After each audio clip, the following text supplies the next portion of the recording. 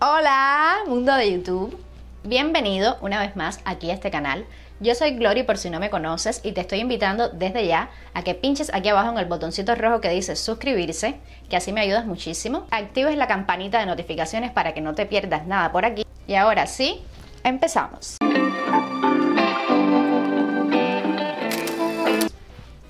Vamos a hablar de las tradiciones de los cubanos para recibir el año nuevo. Cada cultura y cada país tiene sus formas propias para despedir el año viejo y recibir el nuevo entrante. Este momento se asume como un momento de cambio, de reinicio, de reinvención, de proponernos nuevas metas y nuevos logros. Y Cuba tiene sus propias tradiciones para despedir el año viejo. Vamos a empezar por lo más conocido. 1. La tradicional cena de fin de año cubano. La cena de fin de año es el punto clave y principal en la celebración del fin de año cubano, que no puede faltar pues la comida típica tradicional, el con gris, el cerdo asado, la yuca con mojo, la ensalada de lechuga, de tomate o de cualquier vegetal de estación. Como postre solemos comer los anhelados turrones, de almendra, de alicante o la yema tostada. Y la guinda del pastel, un vino o una sidra para brindar a las 12 de la noche. 2 la vuelta a la manzana con una maleta. En Cuba no es el único país donde existe esta tradición, pero sí las familias cubanas salen a las 12 de la noche a darle la vuelta a la manzana con una maleta vacía y esto promete un año lleno de viajes, sobre todo al extranjero. 3.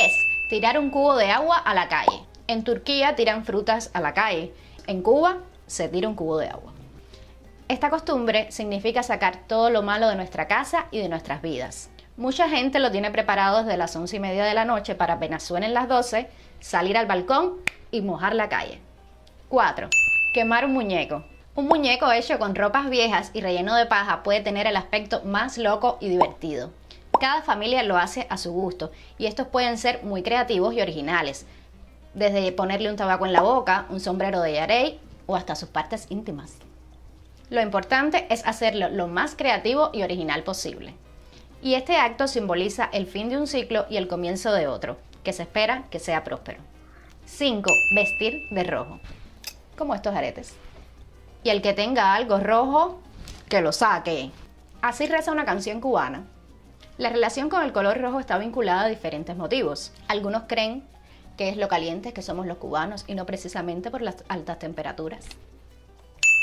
También simboliza la buena fortuna o la suerte en el amor.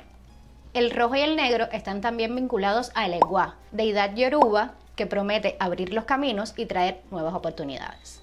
Pero más allá del motivo que cada cual escoja, es muy típico ver a los cubanos vestir algo rojo por estas fechas. 6. Dinero en el zapato. Muchísimas tradiciones alrededor del mundo están vinculadas con la fortuna económica.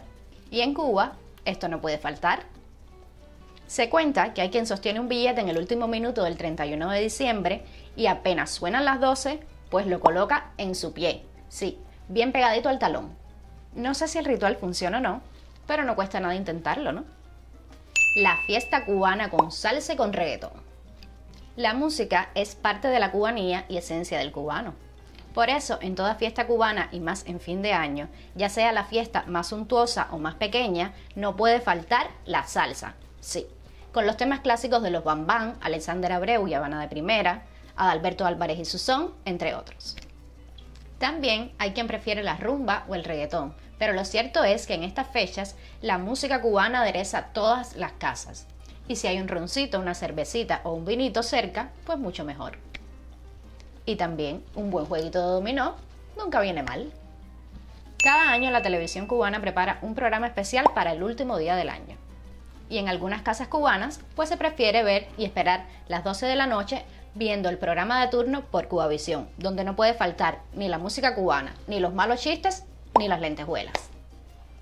En estos últimos días del año es común ver en las calles que todo el mundo se felicita y se desea un feliz y próspero año nuevo. Y a pesar de que las condiciones puedan ser mejores o peores, todos los cubanos agradecen por lo que tienen, por la oportunidad de compartir con sus seres queridos, por celebrar juntos el año nuevo, ya que la fiesta trae mucha alegría y de eso se trata la vida.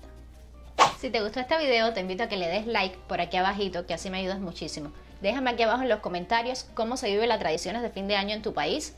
Cuéntame qué hacen, qué comen, cómo lo celebran. Y pues nada, para este 2023 te deseo que se cumplan todas tus metas, todos tus propósitos y que sea un año próspero y feliz. Feliz año 2023. Chao.